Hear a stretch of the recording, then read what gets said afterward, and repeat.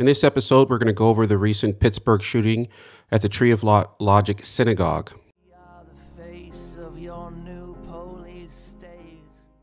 Welcome to the Charles Carroll Society. I'm your host, the self appointed bard of the American Redoubt. One of the reasons I'm choosing to do this video, I normally don't do response videos to significant events here, is that I believe that one of the purposes of this channel, the blog, and the few social media sites I have is to attempt to get out an alternative and more truthful, more balanced look at events.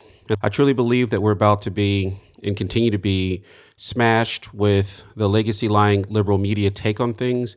They will they will lie because they will they will skip over certain things and they will highlight other things and they will attempt to um, smear entire groups of people. They don't ever smear groups of people when it comes to one illegal immigrant doing crime.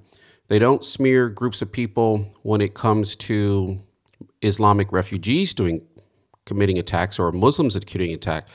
But as soon as there's an event that includes a gun, you'll watch the progressive left kick into high gear to begin to smear all gun owners. So I believe it's imperative for our side to get the truth out. And thanks a lot for sharing and commenting and giving a thumbs up. The Associated Press and several other media outlets are identifying uh, an event. A shooter, apparently by the name of Robert Bowers, went into a synagogue in Pittsburgh, the Tree of Life Synagogue, where he killed at least 11 men, women, and children who were peacefully minding their own business in their own synagogue.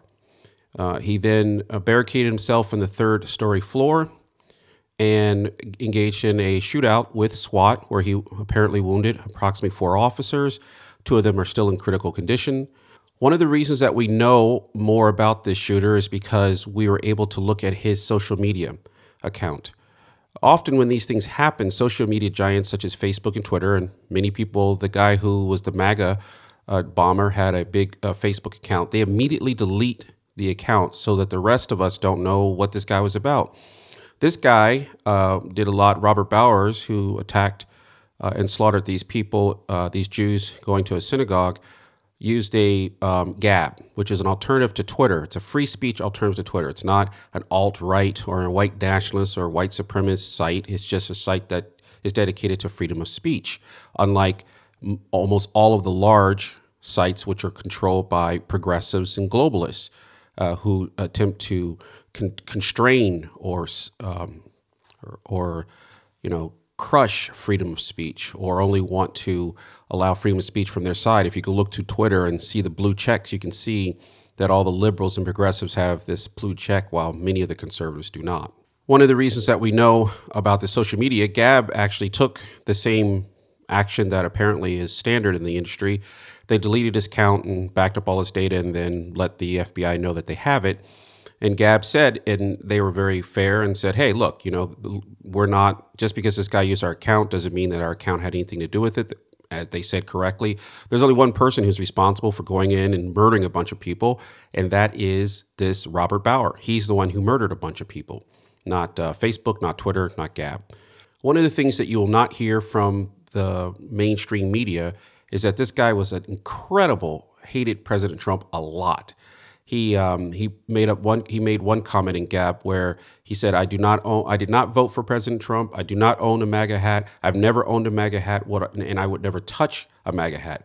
And one of the guys on Gab who has like a parody account that parodies a black guy I guess low IQ black guy or low IQ Negro or something like that responded and said um, that's too bad because Trump make America great again gear is great to burn Robert Bauer on, on Gab also attacked President Trump and claimed that he was a globalist, not a nationalist. He was extremely unhappy with President Trump because President Trump had come out against the Unite the Right, which I generally call the Unite the White Nationalists of the Right rally in Charlottesville. And he was very displeased with that. He was very displeased that America, that President Trump had routinely said that if you're any American, if you're if whatever your ethnicity in, in America, you should have the ability to have opportunity here. He was very upset that President Trump had said that. Another reason that President this uh, Robert Bauer apparently hated President Trump is because, as you will not be hearing on mainstream media, uh, Jared Kushner, who is President Trump's son-in-law, is an Orthodox Jew, um, and uh, President Trump's daughter, Ivanka Trump, actually converted to Orthodox Judaism, and thus all their children are Jews and are being raised in the Jewish faith. This guy was very upset that President Trump had done this and seemed to have a real problem and a real issue with that. Again, what you won't be hearing from the legacy media is how much this guy hated President Trump, that this guy went into a synagogue, he wanted to kill all Jews, which would include President Trump's own daughter and his grandchildren. You won't be uh, hearing much of that on the legacy media. Instead of what you, you will be hearing is them, uh, them blame conservatives, they will blame Republicans, they will blame President Trump, they will attempt to score political points, and then they will attempt to smear all lawful gun owners in America as if the gun that the millions and millions of guns we all have jumped up and did anything. So please make sure that we don't buy into this. Uh, and remember, one of the things that I feel terrible about is that as these events happen, one of the things that we're not talking about is the migrant caravan headed toward our border, which 10,000 people who we don't know who's in it. We're not talking about the amazing amount of um, economic success that President Trump and the Republicans have had in the Congress in the first two years. It seems to me to be convenient that these events happen 10 days before an, or 10 or 12 days before an election. So please keep safe out there. I think I'll link in this description video an article I did a while back on how to secure your church and some of the things that you guys should be thinking about in when you're securing your churches and synagogues. As you see, uh, it doesn't matter if the police get there in two or three minutes.